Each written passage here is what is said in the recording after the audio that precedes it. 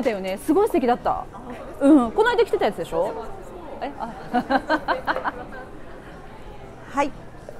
エストネーションの、えーと、ジュエリー売り場を抜けて入ってくると,、えーと、デイリーモード。のセクションになります、えーと、今アップカミングな例えば、えー、ブランドだったりとか今年おすすめの、えー、色や、えー、素材デザインがここに来ると見られるのであの例えば今年ってどういうものが流行ってるのかなとかどういう気分で行けばいいのかなって迷ったか人がここであのなんていうのかなエントランスなんかおしゃれのエントランスみたいな感じになっているのでぜひあの覗いてみてください。で、えーと、きれいめのダウンを探しているっていう声を私を含めてすごくよく聞くので今日は、えーと、この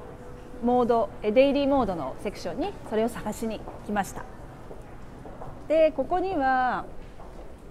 ちょっとこう可愛らしいデザインがあったりとかあとはまあ、今年は本当に色のラッシュなので綺麗な色が上下で揃っていたりとか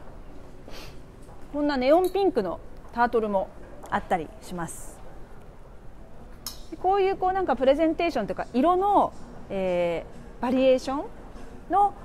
なんか種類というかが見られるのもここの特徴です。だからあそっか今年はピンクなんだっていろんな色味のピンクがあるんだな少しパープルっぽいだだとこういう色だなっていうふうにあのヒントをたくさんもらえるコーナーになってます。で例えば今年さまざまなあのショップでも見ることができるんですけどロンドンの、えーと、アップカビングな、えーと、ダウンのブランドの例えばこういう少し肩が抜けるような感じのショートダウンがあったりとかあとは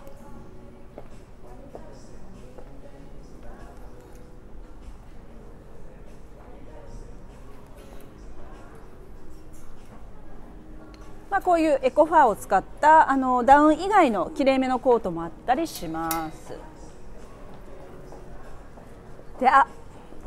これ可愛いんじゃないですか？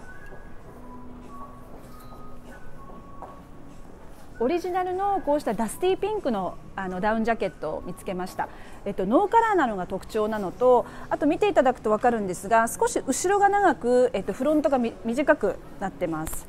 ちょっと実際着てみたいと思うんですがそしてすごい軽い。で今年のダウンの特徴ってこういうふうにあのマットな素材ででしかもあのライトウェアライトオンスで本当にこうカジュアルに羽織れるものが多いんですけどこれはオリジナルなので5万3000円。いいんじゃない？そしてそして見てください。ここにこういうふうにあのストリングがついていてシルエットを変えることができます。例えばだから前を閉じた時にちょっとこうボリュームにが大きく見えてしまう時はここをキュッと締めてタイトなシルエットで着ることもできます。ちょっと羽織ってみたいと思います。本当に軽いこれ。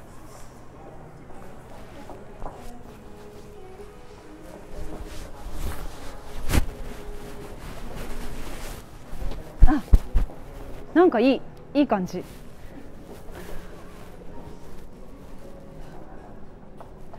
そうそれでこういうダスティーなピンクってあの皆さんこうメイクをするときにファンデーションの前にコントロールカラーで使うあの色なんですね。なので例えば、えーと、お肌のくすみを払ってくれたりとかあとはこういろんな凹凸をなくしてくれたりとかっていうもう女性にとっては最高の色なので顔の近くに持ってくることでちょっとこう暗くなりがちな冬の着こなしがすごく明るく華やかになるかなと思います。買おうかなこれ。かわいい。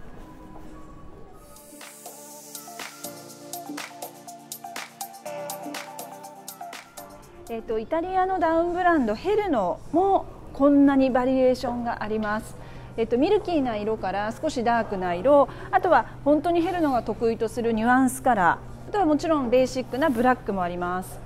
あこれかわいいねなんか。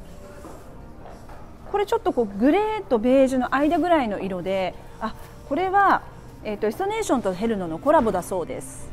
エクスクルーシブ。すごい素敵。憧れ。まだ1枚も持ってない。